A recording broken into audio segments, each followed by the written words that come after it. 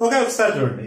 ఇక్కడ ఏంటంటే ఇది వచ్చేసేసి outer side of the miracidium larva ఇప్పుడు this is called as miracidium larva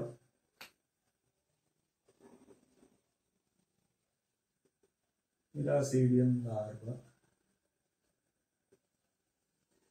ఈ మిరాసిడియన్ లార్వా అనేది ఎట్లా ఏర్పడింది అనేది ఆల్రెడీ నేను చెప్పినాను ఎన్సిస్టెడ్ మిరాసిడియన్ లార్వా అనేది వాటర్లోకి వచ్చిన తర్వాత సూటబుల్ కండిషన్స్ ఉన్నప్పుడు ఆ సిస్ట్ని కంప్లీట్ చేయాలి ఆ సిస్ట్ని దాని చుట్టూ ఉన్న ఒక లేయర్ని సిస్ట్ అంటే ఏంటంటే ఈ యొక్క ఈ లార్వా చుట్టూ ఒక చిన్న సన్నని లేయర్ ఉంటుంది. ఆ సిస్ట్ని డిస్ట్రాయ్ చేసుకుంటుంది. డిస్ట్రాయ్ చేసుకున్న తర్వాత ఈ విధమైన స్ట్రక్చర్ కనబడుతుంది. మనకు అవుట్ సైడ్ ఏ విధంగా అంటే ఈ విధమైన స్ట్రక్చర్ కనబడుతుంది. ఈ విధమైన స్ట్రక్చర్ లోపల మనం అబ్జర్వ్ చేసామంటే ఒకటి రెండు మూడు నాలుగు ఐదు రోస్ లోపల ఐదు ఐదు కాలమ్స్ లోపల ఐదు రోస్ లోపల ఏమున్నాయంటే ఎపిడర్మల్ ప్లేట్స్ అనేవి ఉంటాయి. ఈ ఎపిడర్మల్ ప్లేట్స్ మొత్తం ఎన్ని ఉంటాయంటే ట్వంటీ వన్ ఎపిడర్మల్ ప్లేట్స్ ఉంటాయి. ఆ ట్వంటీ వన్ లోపల one two three four five six seven eight nine ten eleven twelve thirteen fourteen మిగతావి దాని బ్యాక్ సైడ్ అనేవి ఉంటాయి. ఓకే? ఏ విధంగా ఉంటాయి చూడండి. ఇక్కడ ఇక్కడ నాలుగు ఉన్నాయి రెండు అవుట్ సైడ్ అనేది ఉంటాయి. ఇక్కడ నాలుగు సారీ ఇక నాలుగు ప్లస్ రెండు సిక్స్ అవుతాయి. ఇక్కడ ఫస్ట్ రోలో ఇక్కడ ఉన్న ఫస్ట్ రో లోపల ఎన్ని ఎపిడర్మల్ ప్లేట్స్ ఉంటాయంటే ఆరు ఎపిడర్మల్ ప్లేట్స్ ఉంటాయి. ఆ ప్లేట్స్ అన్ని కూడా రెండు డోర్సలు రెండు వెంట్రలు రెండు లేటర్లు. ఒకసారి చూడండి డోర్సలు వెంట్రలు లేటర్లు అంటే ఫర్ ఎగ్జాంపుల్ ఏంటి అంటే నేను ఈ ఆర్గానిజం నేను పాసియల్ ఎపాటిక్ అనుకుంటే డోర్సల్ అంటే బ్యాక్ సైడ్. బ్యాక్ సైడ్ రెండు షీట్స్ ఈ విధంగా ఉంటాయి. ఓకే? ఇక్కడ వెంట్రల్ అంటే దానికి ఫ్రంట్ సైడ్ అంటే ఫ్రంట్ సైడ్ రెండు షీట్స్ ఇట్లా ఉంటాయి. బ్యాక్ సైడ్ రెండు షీట్స్ లెఫ్ట్ సైడ్ వెంట్రల్ రెండు షీట్స్ కలుపుతూ ఇక్కడ రెండు షీట్స్ ఉంటాయి ఈ విధంగా ఒక బాక్స్ ఇక్కడ రెండు ఇక్కడ రెండు ఇక్కడ రెండు. మొత్తం ఆరు ప్లేట్స్ అనేవి ఈ విధంగా పై భాగంలో అరేంజ్ అయి ఉంటాయి. దాని కింద మళ్ళీ ఆరు ఉంటాయి. ఆ ఆరిట్లో కూడా త్రీ డోర్సలు త్రీ వెంట్రల్ అంటే ఇక్కడ విషయం ఏంటి అంటే ఇప్పుడు ఒక ప్లేట్ ఈ విధంగా ఉంటుంది ఇంకో ప్లేట్ ఈ విధంగా బెండ్ వేసి ఉంటుంది. మళ్ళీ దానికి పక్కన ఇంకో ప్లేట్ మళ్ళీ ఈ విధంగా బెండ్ అయి ఉంటుంది. అంటే ఒక సైడ్ చూపిస్తున్నాను. సేమ్ అవతల సైడ్ నుంచి చూస్తే ఎట్లుంటుంది అంటే ఇట్లా మధ్యలో ఒక ప్లేట్ ఉంటుంది ఈ విధంగా అటాచ్ అయి ఉంటుంది ఇంకో మూడో ప్లేట్ ఈ విధంగా అటాచ్ అయి ఉంటుంది. ఓకే ఈ విధంగా ఏంటి అంటే ఎట్లా ఉంటుందంటే ఇట్లా ఓకే ఇట్లా ఇట్లా ఒక ప్లేట్ ఉండేసేసి దానికి ఇటు సైడ్ ఇటు సైడ్ ఉండేసేసి మధ్యలో ఒక ప్లేట్ ఉంటుంది. ఈ విధంగా రెండు త్రీ డోర్సలు త్రీ వెంటల్గా ఏముంటాయంటే రెండో రోస్లో ఎపిడర్మల్ ప్లేట్స్ ఉంటాయి. Coming to the third row ఎప్పుడు కూడా ఏ విధంగా ఉంటుందంటే త్రీ ఎపిడర్మల్ ప్లేట్స్తో ఉంటుంది.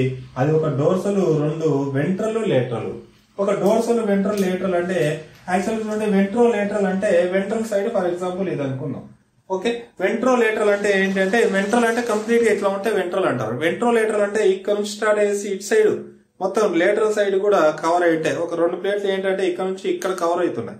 ఓకే మూడో ప్లేట్ అనేది దానికి అటాచ్ అవుతుంది. ఏ విధంగా అంటే ఫర్ ఎగ్జాంపుల్ ఏంటంటే ఇదొకటి ఇదొకటి ఓకే? మూడో ప్లేట్ ఈ విధంగా ఉంటుంది. ఇది యాక్చువల్లీ ఇట్లా స్ట్రైట్గా ఉంటే వెంట్రల్ అంటారు కానీ ఇదేమైంది? వెంట్రల్ లేటరల్కి రెండు కూడా కంబైన్ అయింది. మూడో ప్లేట్ వీటిని రెండింటిని కనెక్ట్ చేస్తూ ఈ విధంగా ఉంటుంది. ఆ విధంగా మూడు అనేటివి ఒక డోర్సల్ రెండు వెంట్రల్ లేటరల్ ఇంకా నాలుగోది ఏంటి అంటే రెండు రైట్ రెండు లెఫ్ట్ జస్ట్ రెండు రైట్ ఉంటాయి రెండు రైట్ ఒకటి రైట్ ఓకే? ఇట్లా ఇటొకటి ఇటొకటి ఉంటుంది. ఓకే రెండు రైట్ ఉంటాయి రెండు లెఫ్ట్ ఉంటాయి. ఈ విధంగా అరేంజ్మెంట్ ఉంటుంది. ఇంకా మూడోది ఏంటంటే ఫైనల్ ఐదో రో లోపల ఒకటి రైట్ ఒకటి లెఫ్ట్ ఉంటుంది. ఈ విధంగా అన్ని కూడా ట్వంటీ వన్ ఎపిడర్మల్ ప్లేట్స్ అనేవి అవుట్ సైడ్ మనకు కనబడుతూ ఉంటాయి. ఓకే ఇది అవుట్ సైడ్ కనబడింది కాబట్టి ఎపిడర్మల్ ప్లేట్స్ ట్వంటీ వన్ ఉంటాయి. ఆ ఐదు రోస్లో ఉంటాయి. ఒక్కొక్క దానిలో ఒక రోలో ఏముంటుంది అది రాయాలి. ఇంకా నెక్స్ట్ ఇక్కడ బయట సైడ్ మనకు చూడండి. బయట సైడ్ కనబడేవి ఏంటంటే this is called as ciliary ఈ సీలియా దేనికోసం యూజ్ అవుతుంది అంటే movement of miracidial larva. Movement కోసం. సీలియా ఇప్పుడు కూడా మూమెంట్ లోపల ఇన్వాల్వ్ అవుతుంది. అయితే దీని యొక్క అప్పర్ లేయర్ లోపల దానికన్నా పైన అపికల్ పాపిల్లే ఒకటి ఉంది. Apical papillae. ఈ అపికల్ పాపిల్ల దేనికి యూజ్ అవుతుంది అంటే స్నేల్ని స్నేల్ని హోల్డ్ చేయడం కోసం అపికల్ పాపిల్ల యూజ్ అవుతుంది. ఈ యొక్క అపికల్ పాపిల్లే మూమెంట్ చేస్తూ ఉంటుంది. మూమెంట్ చేస్తూ ఉంటుంది. యాక్చువల్ ఇట్ ఇట్లా కదులుతూ ఉంటుంది. అట్ ద సేమ్ టైం ఈ స్నేల్కి హోల్డ్ చేయడానికి ఎపికల్ పాపిల్లే యూజ్ అవుతుంది. ఇది అవుట్ సైడ్ చూసినప్పుడు ఇదే మనకు కనబడుతుంది. అయితే ఈ రెండో రోల్ లోపల మిడిల్ పార్ట్ లోపల మనకు రెండు రెడ్ డాట్స్ వేసినాను. ఈ రెండు రెడ్ డాట్స్ ఏంటంటే ఐ స్పాట్స్ ఇవేంటి? ఐ స్పాట్స్ యాక్చువల్గా ఎక్స్ ఆకారం లోపల ఏముంటుందంటే దీనికి ఐ ఉంటుంది. ఒక సైడ్ ఒక స్పాట్ ఇంకో సైడ్ ఇంకో స్పాట్ ఈ విధంగా రెండు స్పాట్స్ అనేవి ఉంటాయి. ఈ రెండు స్పాట్స్ ఎదురెదురుగా చూస్తూ ఉంటాయి. అది జస్ట్ గుర్తుపెట్టుకోండి ఇక్కడ రిప్రజెంటేషన్ చూపించలేము ఓకే ఈ విధంగా ఒక ఎక్స్ ఆకారం ఉన్నాయి దాని లోపల రెండు ఐ స్పాట్స్ అనేవి ఉంటాయి. ఈ ఐ స్పాట్స్ లోపల ఏ విధంగా ఉంటుందంటే లెన్సెస్ ఉంటాయి. ఇవి చూడడానికి హెల్ప్ చేస్తాయి. అది గుర్తుపెట్టుకోండి. ఇక కమెంట్ తీసుకోండి ఒకవేళ దీని స్ట్రక్చర్ కనుక ఈ విధంగా స్ట్రైట్గా కట్ చేసామంటే ఇంటర్నల్ పార్ట్స్ ఈ విధంగా కనబడతాయి. యాజ్ యూజువల్గా చూడండి దీనికి ఉన్నట్టే ఇక్కడ ఈ మనకు కనబడేది ఏంటి? సీలియా అవుట్ సైడ్ కనబడుతుంది. అవుట్ సైడ్ కింది భాగం లోపల ఏంటి అంటే ఈ యొక్క సీలియా కింది భాగంలో సబ్ ఎపిథీలియం అనే ఒక లేయర్ ఉంది. ఓకే ఎపిథీలియం అనే ఒక సబ్ ఎపిథీలియం అనే ఒక లేయర్ ఉంది. సబ్ ఎపిథీలియం కింది భాగం లోపల ఏముందంటే మజిల్ లేయర్ ఉంది.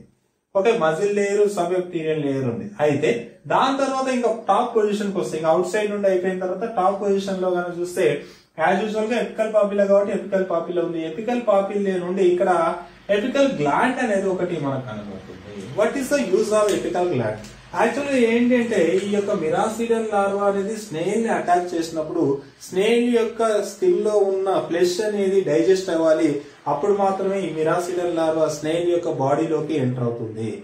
అందుకోసం ఏం చేస్తుందంటే ఈ ఎపికల్ గ్లాండ్ ఏం చేస్తుందంటే కొన్ని సెక్రీషన్స్ చేస్తుంది. హైడ్రోలైటిక్ ఎంజైమ్స్ సెక్రేట్ చేస్తుంది. దానివల్ల ఏంటంటే ఈ మిరాసిడల్ లార్వా స్నేహిల్ను అటాచ్ అయినప్పుడు ఆ స్నేహిల్ ఉన్న ఆ మాంసం ఏదైతే ఉంటుందో ఫ్లెష్ ఏదైతే ఉంటుందో అది డైజెస్ట్ అయ్యేసి ఇది ఈజీగా పోవడానికి హెల్ప్ చేస్తుంది. అదే విధంగా ఇక్కడ చూసామంటే ఈ యొక్క టాప్ పొజిషన్ లోపల దీనికి బ్రెయిన్ అనేది ఇక్కడ క్లియర్గా కనబడుతుంది. ఓకే బ్రెయిన్ అనేది క్లియర్గా మిరాసిడల్ లార్వాలో కనబడుతుంది. బ్రెయిన్తో పాటు మెనీ న్యూరాన్స్ అనేవి ఇక్కడ ఈజీగా ఐడెంటిఫై చేయొచ్చు. అవన్నీ కనబడతాయి. ఇక్కడ యాజ్ యూజువల్ ఇక్కడ చెప్పినట్టే ఇక్కడ ఐస్ ప్యాడ్స్ ఉన్నాయి. కమింగ్ టు దిస్ వన్ ఇంకా లోవర్ పార్ట్ అప్పర్ పార్ట్ అయిపోయింది లోవర్ పార్ట్ ఇప్పుడు చూడండి నేను ఎలా చెప్తున్నానంటే ఫస్ట్ ఈ సర్ఫేస్ ఏరియా లోపల ఏమేమి ఉందో చెప్పినాను తర్వాత పై భాగంలో నుంచి ఇక్కడ వరకు కంప్లీట్ చేస్తాం. ఇప్పుడు కింది భాగంలో ఏముందో ఒకసారి చూడండి. ఈ కింది భాగంలో చూసారంటే ఇక్కడ ఉన్న ఇవన్నీ ఏంటంటే జెర్మ్ సెల్స్ ఇవన్నీ ఏంటి? జెర్మ్ సెల్స్ ఈ జెర్మ్ సెల్స్ అనేటివి అన్ని కూడా ఇదొక సెల్ ఇదొక సెల్ ఇదొక సెల్ ఇదొక సెల్ సెల్స్ అన్ని కూడా ఒకే దగ్గర ఉన్నాయి కాబట్టి వీటిని ఏమంటున్నా అంటే జెర్మ్ బాల్స్ అంటున్నారు. ఓకే ఈ రెడ్ కలర్లో గీసిన అన్ని కూడా జెర్మ్ బాల్స్ ఓకే ఈ జెర్మ్ బాల్స్ నుండి నెక్స్ట్ లార్వా స్టేజ్ అనేది వస్తుంది. స్పోరోసిస్ట్ లార్వా అనేది ఈ జర్మ్ సెల్స్ అనేవి మల్టిప్లై అవుతే ఈ లార్వా ఫామ్ అంతా కోల్పోయేసి మళ్ళీ దీని నుండి ఒక స్పెషల్గా కొత్తగా స్పోరోసిస్ట్ లార్వా అనేది ప్రొడ్యూస్ అవుతుంది. ఇంకా తర్వాత ఇక్కడ చూడండి ఇక్కడ ఏమున్నాయంటే ఫ్లేమ్ సెల్స్ అనేసి రాస్తున్నాను యాక్చువల్లీ ఏంటంటే ఇది ఒక ఆర్గనిజం ఈ ఆర్గనిజం లోపల అన్ని సిస్టమ్స్ అన్ని జరుగుతున్నప్పుడు ఏంటంటే ఎక్స్క్రీటరీ మెటీరియల్ అనేది ఏర్పడుతుంది. వాటర్లో ఉంటుంది ఇది. ఎక్స్క్రీటరీ మెటీరియల్ ఏర్పడితే ఎక్స్క్రీటరీ మెటీరియల్ని బయటికి పంపించడానికి మనకైతే కిడ్నీస్ ఏ విధంగా అయితే ఉన్నాయో నెఫ్రాన్స్ ఏ విధంగా అయితే ఉన్నాయో దీని లోపల నెఫ్రాన్స్ లాంటి ఫంక్షన్ చేసే ఈ సెల్స్ ఏంటి అంటే ఫ్లేమ్ సెల్స్. ఓకే? యాక్చువల్గా ఏంటి ఈ ఫ్లేమ్ సెల్స్ ఏమంటారంటే ప్రోటోనెఫ్రీడియా అంటున్నారు. ప్రోటోనెఫ్రీడియా ఓకే ప్రోటో నెఫ్రీడియా అనే నెఫ్రాన్స్ ఉంటాయి దీని లోపల. బాగా డెవలప్ కానటువంటి నెఫ్రాన్స్. అంతగా డెవలప్ కానటువంటి నెఫ్రాన్స్ ఉంటాయి. ఆ నెఫ్రాన్స్కి ఒక ఎండ్ భాగం లోపల ఫ్లేమ్ సెల్స్ ఉంటాయి.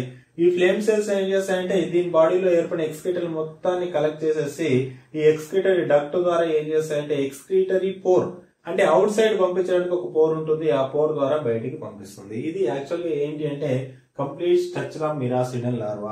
Outside structure ఏ విధంగా ఉంది? ఇంటర్నల్ స్ట్రక్చర్ ఏ విధంగా ఉంది? కొన్ని ఇంపార్టెంట్ ఫంక్షన్స్. ఇంకా ఐ స్పాట్స్ ఎందుకు? ఈ అంటే దాన్ని చూడడానికి బ్రెయిన్ ఎందుకంటే దాని యొక్క ఫంక్షన్ మనందరికీ తెలిసింది. ఎపికల్ పాపులర్ ఎందుకంటే ఆల్రెడీ ఇక్కడ నేను ఎక్స్ప్లెయిన్ చేస్తున్నాను. స్నేల్ని ఇంజెక్ట్ చేయడానికి. తర్వాత ఇవేం చేస్తారంటే కొత్త లార్వాస్ ఫామ్ చేస్తాయి ఇవేం చేస్తారంటే ఎక్స్క్రీషన్ లోపల ఇన్వాల్వ్ అవుతున్నాయి. ఇంకా దీని యొక్క అవుటర్ లేయర్ లోపల సబ్ ఎపిథీలియం ఉంది. దానికి కింది భాగంలో మజిల్ లేయర్ ఉంది. దాని అవుట్ సైడ్ మొత్తం కూడా ఏమున్నాయంటే సీలియా ఉన్నాయి. ఇవి యాక్చువల్గా ఏంటంటే మిరాసైడల్ లార్వా అగైన్ ఇప్పుడు ఈ కండిషన్ లోపల ఓకే? ఎప్పుడైతే ఇది వాటర్లో తిరుగుతూ ఉంది వాటర్లో తిరుగుతూ ఉన్నప్పుడు స్నేల్ కనుక దీనికి అటాచ్ అయింది అనుకోండి. స్నేల్ ఇది ఏంటంటే విత్ ఇన్ ఈ యొక్క ఎన్సిస్టెడ్ మిరాసిడియం నుండి మిరాసిడన్ లార్వా ఫామ్ వచ్చేసిన తర్వాత విత్ ఇన్ ట్వంటీ ఫోర్ అవర్స్లోనే ఏం చేయాలంటే ఖచ్చితంగా అక్కడ స్నేల్స్ ఉంటే స్నేల్ యొక్క బాడీలోకి పోవాలి. ఒకవేళ అలా పోలేనప్పుడు ఈ మిరాసిడన్ లార్వాస్ అన్ని కూడా చనిపోతాయి.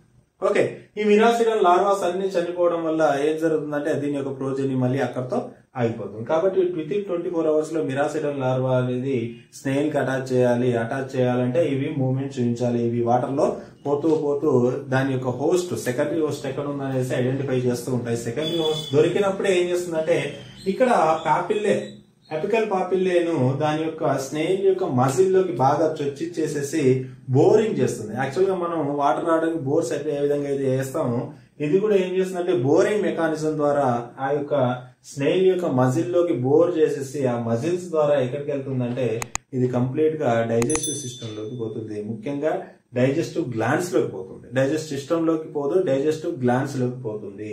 ఓకే ఒకసారి డైజెస్టివ్ గ్లాన్స్కి పోయిన తర్వాత అక్కడ ఏం చేస్తుంది అంటే సూటబుల్ ఎన్విరాన్మెంట్ కండిషన్స్ క్రియేట్ చేసిన తర్వాత ఇక్కడ ఏర్పడినటువంటి ఈ లార్వా ఓకే మిరాసిడల్ లార్వాలో ఉన్న ఈ జెర్మ్ సెల్స్ అనేటివి స్పోరోసిస్ట్ లార్వాని ఫామ్ చేస్తాయి. ఇప్పుడు స్పోరోసిస్ట్ లార్వా ఏ విధంగా ఉందనేది ఒకసారి అబ్జర్వ్ చేద్దాం.